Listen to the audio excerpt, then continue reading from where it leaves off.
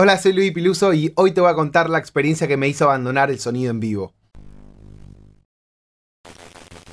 Dentro de mis primeros años como profesional de audio, fui probando distintos rubros dentro de esta carrera, viendo cuál me gustaba más y obviamente tomando cualquier trabajo que fuera ofrecido. Entonces hacía trabajos de tanto grabación como producción, mezcla, edición, postproducción para series de televisión, donde editas los, diálogos y también hacía sonido en vivo. Hoy en día me dedico principalmente a lo que es la producción, la grabación y mezcla y la composición. Y dentro de lo que es la composición, también hago música para televisión o jingles para distintas marcas. Así que voy directamente a esta historia que fue catastrófica, para mí al menos. Corría del año 2015, yo estaba en el último año de la facultad estudiando sonido. Y el que era mi mentor, que era el señor Toro Martínez, que un crack que hizo veintipico de años de sonido para Spinetta, le hizo sonido a Tina Turner, a Deep Purple, a Mr. Mister, a un montón de bandas. Y él me consiguió un trabajo para hacer sonido en vivo en la Feria de Mataderos. La Feria de Mataderos es una feria que se hace acá en Buenos Aires, Argentina. Entonces es mucho sobre los productos nacionales y la música principalmente que se toca ahí es folclore. Entonces, para darles una idea, es un festival todos los domingos donde tocan aproximadamente 10 actos distintos o 12. También hay conjuntos de baile que abren el, día, por así decirlo.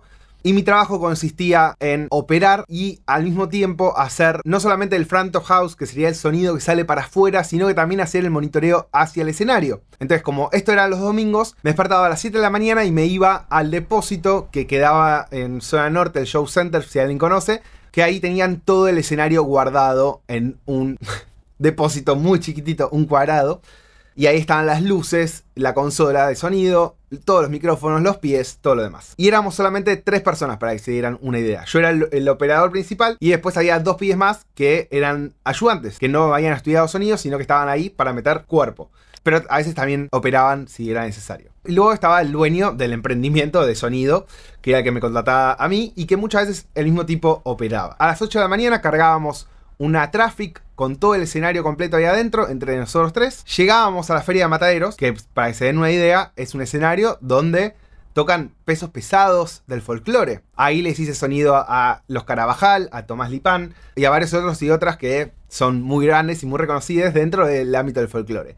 Y la cantidad de público que hay para el último acto es alrededor de 2.000 personas. Llegábamos a Mataderos, que ya estaba la feria instalada, siempre. Entonces era pasar por todos los puestitos, estacionar la tráfico al lado del escenario y montar las luces y el sonido entre solamente tres personas. La consola de sonido estaba ubicada en un costado del escenario y no de frente al escenario. Entonces me tocaba operar desde el costado del escenario tanto lo que salía para afuera, sino que lo que quedaba adentro como monitoreo. Lo cual es muy complicado porque es muy difícil saber cómo se está escuchando afuera si vos no estás afuera, si estás desde un costado encima del escenario. Entonces eso se monitorea con auriculares.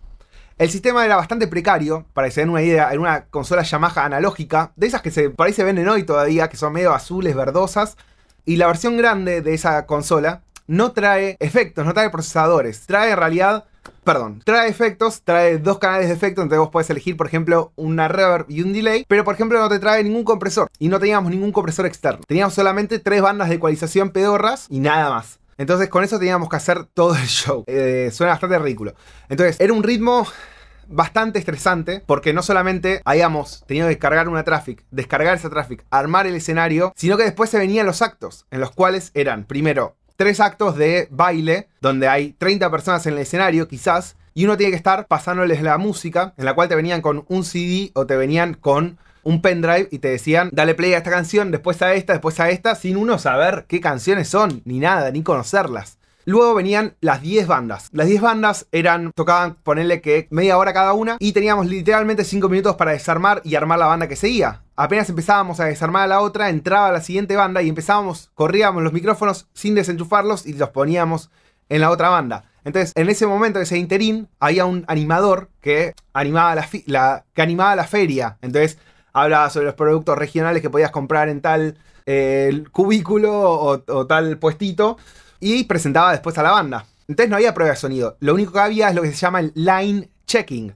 donde probás que todo funcione. Entonces yo me iba al lado del músico o la música y le, pedía que toque el instrumento y me hablaba con la persona que estaba en la consola a los gritos, porque no había tipo, ni siquiera teníamos un sistema de walkie-talkie para que, para que se dieran una idea. Y le pedía, y yo al lado del monitoreo le pedía que empiece a subir hasta que yo podía escuchar el instrumento de la persona. Y yo le decía a la persona, ¿está bien? ¿Te escuchas bien ahí? Una vez que me decía que sí, pasaba al siguiente instrumento. Y la prueba de sonido se hacía en los primeros dos temas. Arrancaba la banda y se empezaba a hacer la prueba de sonido. Obviamente esto sin in sin nada. O sea, esto es bien precario.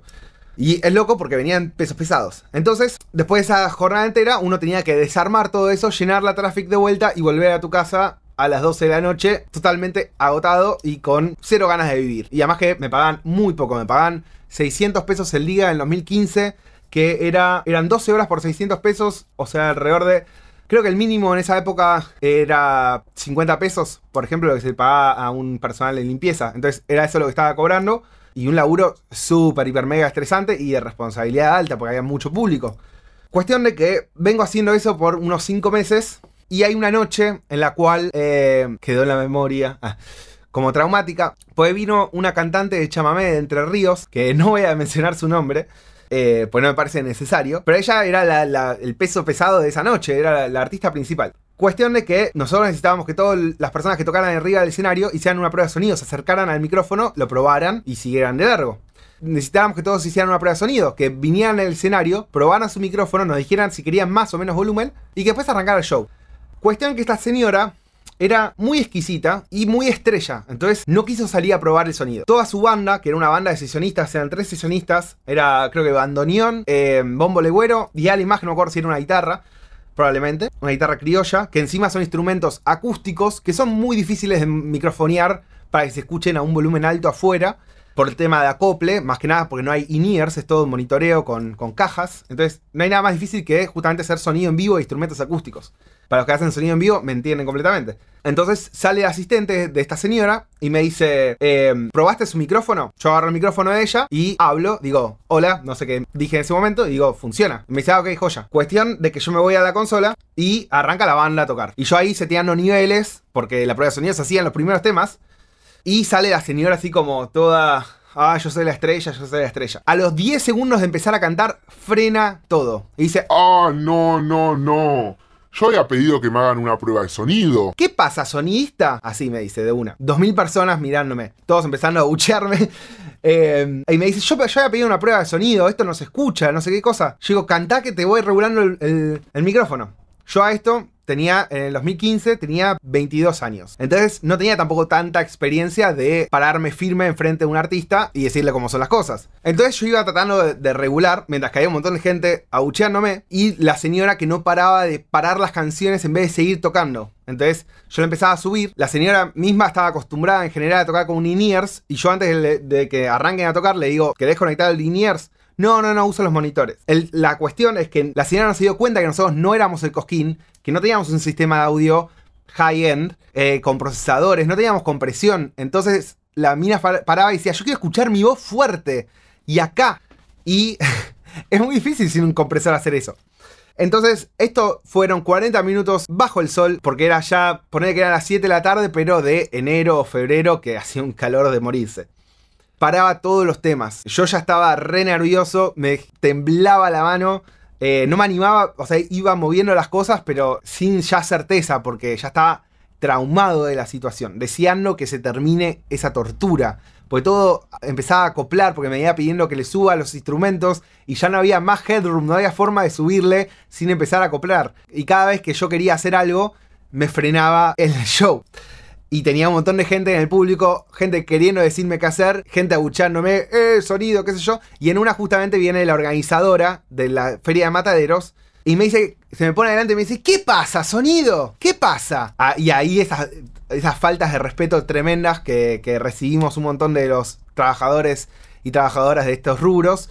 Y bueno, cuestión es que se terminó el show, vino la siguiente banda, sonó perfecto. O sea, hasta que vino ella, todas las bandas venían sonando bárbaras, sin ningún inconveniente. Entonces medio que fue el problema de, toparte con una persona que es una estrellita, que se cree una estrellita. Porque muchas veces dentro del ambiente de folclore te hablan medio mal eh, y te piden las cosas de mala manera desde el escenario. Y eso fue mi prueba de fuego en la cual después de un par de semanas más no quise hacerlo más. Me pasaba de que terminaba el domingo, yo estaba matado, llegué a mi casa ese día temblando prácticamente. Y estaba toda la semana esperando a que no fuera domingo. Y después llegaba el domingo y me quería matar. Y me empezaba a dar la contradicción de que tenía justamente mi mentor que me había recomendado a este trabajo y que yo ya no lo quería hacer más. Y pensaba que tenía que decirle que sí a todo, entonces yo seguía haciéndolo por más de que no me gustaba un carajo. Hasta que después tuve los huevos suficientes de decir, che, esto de sonido en vivo, medio en este formato, no es lo mío. Lo mío es el estudio y me terminé decidiendo quedarme con esto en el estudio mucho más tranquilo. Lo que sí aprendí de una situación como la feria de mataderos era a trabajar súper rápido, en que no hay tiempo para esperar. Me acuerdo mucho de cuando estaba en la facultad, al mismo tiempo estaba haciendo eso, que no podía creer lo mucho que tardábamos en una clase para microfonear un instrumento. Que a veces se tardaba una hora entera en microfonear una banda, cuando yo estaba acostumbrado a hacerlo en 5 minutos por necesidad, ¿no? Obviamente se puede ser mucho más fino y no tardar 5 minutos ni tampoco tardar una hora, sino que buscar un punto medio. Pero algo, una experiencia como esa te enseña a trabajar súper rápido, a no focalizarte en cosas insignificantes y focalizarte en lo que realmente importa, que es que las cosas suenen y que suenen rápido y que vos no estés frenando el proceso. A veces hay tiempo para frenar el proceso y a veces no. Así que nada, hoy quería compartirles este video rápido. Eh, quería al menos subir algo esta semana, me parecía importante y siempre quise compartir esta experiencia con ustedes, que para mí fue súper traumática en su momento. Ahora me cago de risa un poco y la cuento siempre, pero nada, espero que les cope escucharla y si tienen experiencias así de terror, me encantaría leerla abajo en los comentarios. Soy Luis Piluso, no olvides de suscribirte, de golpear esa campanita para enterarte cada vez que subimos un nuevo video. Y será hasta la próxima.